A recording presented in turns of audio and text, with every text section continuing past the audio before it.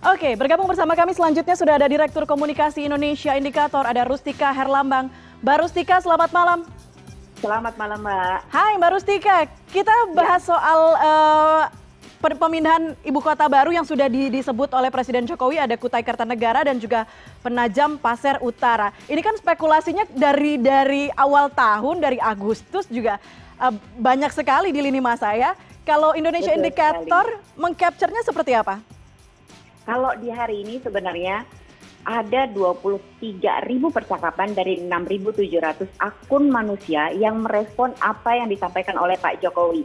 Tapi kalau misalnya kita lihat terkait sama pemilihan Kaltim, Kalteng, atau yang lainnya, ternyata netizen itu paling banyak merespon untuk memilih Kaltim jadi dalam sepanjang Agustus saja ada 19 ribu yang mereka mengatakan Kaltim saja deh sebagai ibu kota negara gitu. Mm-hmm. Kemudian kalau Kalteng itu ada 13 ribu 510 gitu. Nah sebenarnya tuh cukup menarik ya karena ketika bicara soal uh, pemindahan ibu kota itu justru yang paling antusias itu mereka yang usianya 18 sampai 25 tahun. Jadi sebanyak 44,5 persen itu adalah mereka.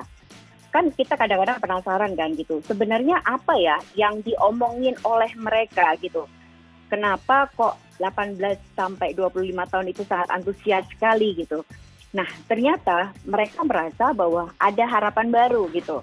Jadi mereka mengatakan dengan bahasa humor nih gitu.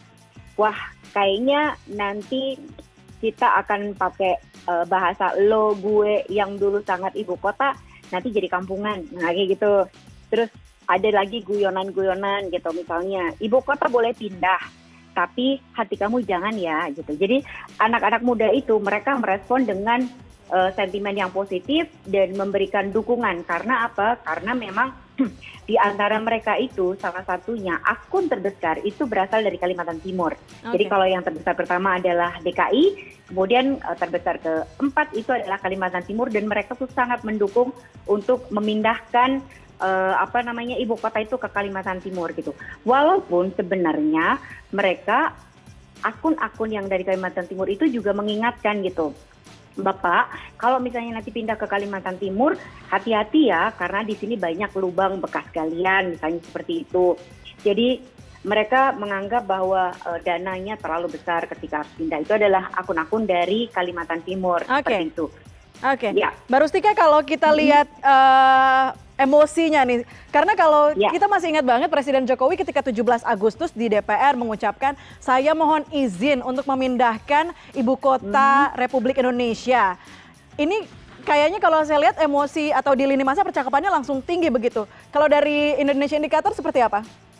Ya betul sekali. Jadi sebenarnya beberapa topik atau isu yang mendrive itu adalah salah satunya adalah pernyataan Presiden Jokowi pada tanggal 16 Agustus yang lalu. Dan kemudian e, beberapa hal yang muncul adalah pertanyaan terbesar isunya adalah lokasi di mana sih sebenarnya karena kan Pak Jokowi ini kan misteri cuman Kalimantan gitu kemudian mm-hmm. banyak sekali yang memunculkan di mana gitu walaupun dalam beberapa hari terakhir mereka memunculkan kata Papua juga gitu Terus yang kedua itu isu yang terbesar memang terkait dengan mengkritik Pak Jokowi gitu ya. Jadi kenapa kok dipindahkan sekarang gitu.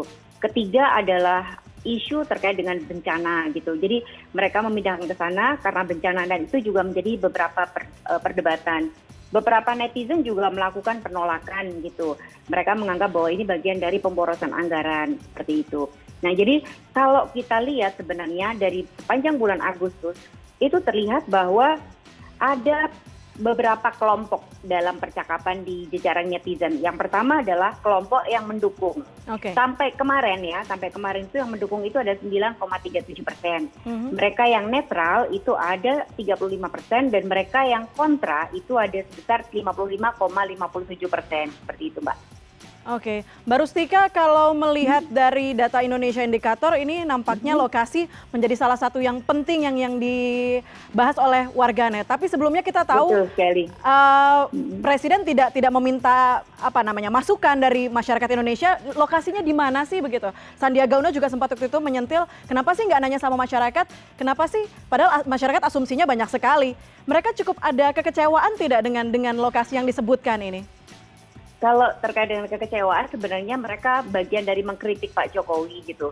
Sebaiknya kalau kita mau melakukan pemindahan uh, ibu kota itu ada beberapa hal yang harus diperhatikan juga terkait UU juga terkait karena kemarin itu ada pernyataan dari Pak Emil Salim dia adalah salah satu tokoh yang netral yang dia tidak setuju atas pemindahan tersebut dan itu sebenarnya yang mendrive kenapa isu-isu terkait dengan Pak Jokowi dan pemindahan ibu kota itu agak mendapat kritik gitu.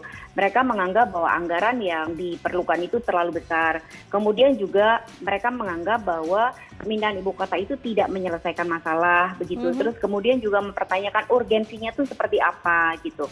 Dan kemudian kenapa kok Kalimantan Timur? Kenapa kok uh, satu wilayah yang misalnya kan kemarin kan sempat beberapa kali ada beberapa nama yang disebut gitu. Sementara kalau kita bicara pemerataan pembangunan, kenapa tidak sekalian di Papua seperti itu? Okay. Nah itu adalah beberapa kekecewaan yang disampaikan kepada Pak Jokowi. Sementara itu mereka yang mendukung Pak Jokowi pun juga cukup banyak dan mereka menganggap bahwa ini adalah bagian dari pemerataan pembangunan seperti itu gitu. Oke, jadi cukup fair ya. Hmm. Tapi cukup fair sebenarnya. Kalau kalau Mbak Rustika melihat di lini masa, kan kita tahu netizen Indonesia ini cukup aktif memberikan uh, opini, memberikan masukan gitu. Ada nggak sih komunitas atau forum yang memang sengaja dibentuk untuk apa namanya menjadi memberikan masukan, menjadi wadah untuk di mana lokasi ibu kota baru Indonesia, kemudian baiknya seperti apa, masukannya seperti apa untuk ibu kota baru ini? Nah sebenarnya kalau lokasi atau wilayah-wilayah diskusi yang masuk ke jaringan Twitter memang tidak. Mereka lebih banyak mempertanyakan urgensinya, itu yang pertama. Okay. Kedua adalah bagaimana soal anggaran gitu pada saat situasi Indonesia seperti ini gitu mereka khawatir akan hutang nah itu lebih banyak uh, dipertanyakan gitu daripada wilayah tentang lokasi yang di apa yang ditentukan seperti mm -hmm, itu mm -hmm, banyak kekhawatiran begitu ya karena kawasan Betul Kalimantan sekali. juga kawasan hutan, hutan lindung begitu.